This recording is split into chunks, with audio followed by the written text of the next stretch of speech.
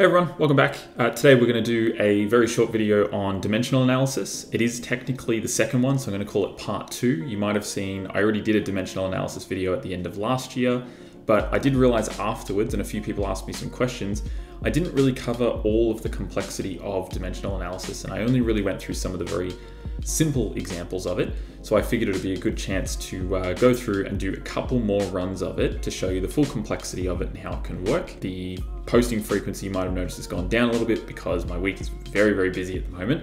And obviously I have to prioritize my uh, portfolio work and my applications as well. That's taking up a huge amount of time. Um, and I've filmed a few other ones, but it's really just down to editing. I just don't quite have enough time to be editing through the week. That's a very time consuming process. Usually happens at night as well. And so I usually find that I'm not actually ready to start editing. I usually am still sending emails and things at midnight. And by then I really don't want to be editing a video in the middle of the night until two o'clock in the morning or something. Um, so that's why there's a few less videos. Anyway, um, apart from that, you might notice I'm sitting in a very different position. I ended up finally getting an actual proper uh, desk chair, although I have not yet upgraded my desk. So this is not a real desk if you saw my desk video, which is why I'm kind of sitting like a child at the moment, sitting very low. Probably ergonomically, I've probably not really gotten any gains there. I'm probably screwing up my shoulders now by having my arms raised, but um, it's nice to be able to sit in an actual reclining chair. Again, I've been sitting on a stool for like seven years and my back was already bad enough. I probably should have known that I needed to upgrade a while ago. You might also notice there's this blue thing here. Um, I figured I would give it a plug actually. My student doesn't know this. One of my year 12s actually runs his own business where he makes uh, kind of gaming accessories and that kind of thing and also makes mouse pads. And he asked me in one of the shoots, Do you want me to make you a custom mouse pad through my business? And I was like, That would be amazing. So at the moment, if I can show it here, only a part of it, I've basically got a simplified study custom uh, desk mat, which is amazing. And uh, I'll link his his website below if you're interested in checking any of that stuff out. Um, it still blows my mind sometimes that someone uh, that is that young has already started a business. He's doing a very, very good job of it. And uh, yeah, he runs the whole thing. It's amazing. So um, if you want to check that out or you're in the market for a desk mat or uh, any kind of gaming accessories and stuff, you might be able to uh, get something out of it. I can never pronounce the name of the business. I'm just going to link it below. But um, he doesn't know that I'm plugging this either. So I'll surprise him when he sees the video. I'll link him to it. Anyway, um, let's get into the dimensional analysis. Okay, so our goal with this video is to carry on from what we did in the first one, but in the first one, I only did simple examples with a single fraction that was equal to a variable, and then we just rearranged and solved the dimensions for the missing variable. Uh, in this one, what I wanted to do is look at what to do when you've got two terms that are actually being added or subtracted from each other, as well as when you've got combinations of terms in brackets that are being multiplied, effectively just more complex formula structure, and how to still apply dimensional analysis to it. What we're also going to do is a bit of an upgrade from the last one. I'm going to color code my working. So if I'm working using just a standard formula, using the notation for those and the letters that represent those variables, it'll be in blue. I'm going to be using red if I'm already putting in one of the four dimensions. Although looking at that now, let's actually change that to pink uh, because I've got pink dimensions on the notes. So let's use units if I'm in red, and we're going to do pink if we're in dimensions. And that is the goal of each of the questions. So let's dive straight into it. The first example here, I'll point out these formulas are completely made up by me. So if you were to try and find them on the internet, you will not find them. Uh, I've tried to make them roughly match as much as possible in terms of dimensions and units so it mathematically makes sense. Uh, but uh, if you were to look for them, you, you won't find them. So don't use these in your study notes or anything. This is just to prove the mathematical application of dimensional analysis. All right, so if we start with the formula, let's start in blue then. When we're adding two terms like k over v and 2 uh, alpha, and we can see all of the units are given here as to what they represent, although k is missing and our job is to work out the dimensions of that. When we're adding two terms, uh, we can assume that they're of the same dimensions and also of the same or equivalent units. And this is because it would be illogical to add two numbers that don't have the same dimensions. There's lots of different ways to think about this. So for example, you can't add volume to area uh, because they have one's in uh, three dimensions, one's in two dimensions. You can't add two uh, units that are not equivalent. So you can't add, say, three seconds to five degrees Celsius. You can't say eight because what would the units be? It doesn't make any sense at all. When you're multiplying and dividing, you can. That's a little bit different. So here, when we're adding k over v and 2 alpha, what we can do is we can assume that in terms of their dimensions, they must be equal. So k over v, I'm just going to make this kind of loose formula. k over v must be equal to al uh, 2 alpha. Now the other thing is really uh, constants like 2, they don't even have dimensions, so we're just going to knock that out immediately. And already we've created a pretty simple formula here. So then the next job is to start filling in our uh, dimensions. So for k, we don't know what its dimensions are. I'll just leave it as k for the moment. And then for volume, this is going to be length by width by height. So that is length cubed. We already know its full dimensions. With alpha, it's a little bit trickier. We have to go to the units to see what we actually have to do with it. So the units at the moment are pascals per meter. And then we have to deviate out to some formulas that usually come from physics. So pascals is a unit of pressure. And we know, we'll just go out here, pressure is force over area. Force is the same as mass times acceleration. Uh, and I don't know why I wrote m. so force over area. Then force is mass times acceleration. Uh, area is length times width, so length squared. So we actually know its dimensions already. So we're kind of teasing out the bits and pieces.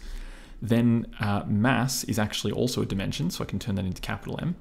And acceleration, we know that's measured in meters per square second, which in terms of dimensions, meters is a measure of length, seconds is a measure of time, so length per time squared. So if we clean all of that up, we end up with mass times length per time squared over length squared, which simplifies using index laws down to mass times uh, length to the negative 1, t to the negative 2. This is, this is uh, just the the pressure part. Now, when it comes to meters over here, this is another unit of length.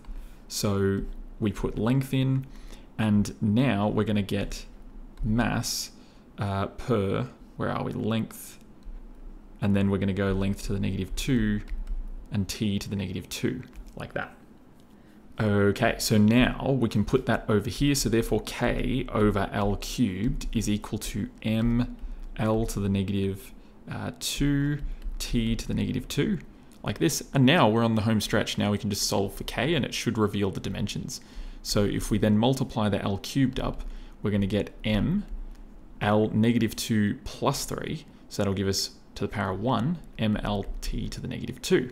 Like, all right, and so then the next part, now we get a little bit more added to the formula. So it's the same formula here, uh, except now we're multiplying it by a second bracket, and now it's going to be equal to energy when you multiply those two. So our job now is to work out the dimensions of Z in this formula where we've got a few other variables. Q is going to be charge in coulombs, Z is going to be a constant that we're trying to work out, T is time in seconds, and E is energy in joules. So again, we don't really need to look at the entire formula. We can use that same strategy knowing that the dimensions of Q must be the same as the dimensions of Z times time because they're being added or subtracted. So in terms of Q, we can use a different formula. Q is equal to IT, because obviously q is not a standard dimension, and z times t, and we can actually evaluate now, or simplify I should say, we can cancel out the t's and we get current must be equal to z. And then we can just dump in the dimensions of current, which was a. That's a standard dimension, and so therefore z is in the dimensions a. That one's relatively straightforward. Question three then says, what is current actually equivalent to though? So this is a much, much trickier one. And obviously it's not multi-choice. I wanted to just focus on the skill itself so you can see that you can replicate this and do it with lots of different formulas. You don't need to be given specifically a dimensional analysis question in order to practice dimensional analysis. Okay, and then with question three, uh, we're going to work out what is current equivalent to. So even though we've already worked out that Z has the same dimensions as current, where current is A, we can think about this question in another way. So if we're multiplying two brackets together to give the right hand side, so k over v, we'll just write it out again, uh, plus 2 alpha, and then multiplying that by q minus zt is equal to e. What that also means is that the dimensions of the left hand side must be the same dimensions as the right hand side. And we can get the dimensions by multiplying the dimensions of these two components here. So we already got the dimensions of alpha in the process.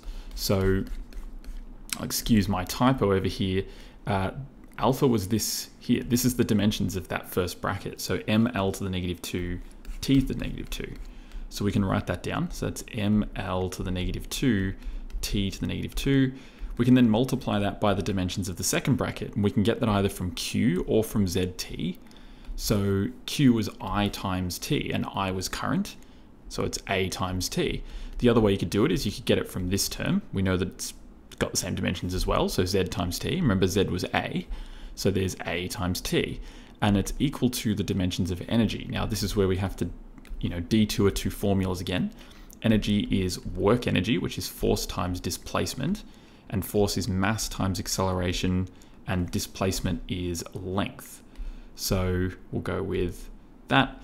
And then from there, if we now solve for A effectively, we need to get mass times acceleration. We did that before. That was mass times length per time squared.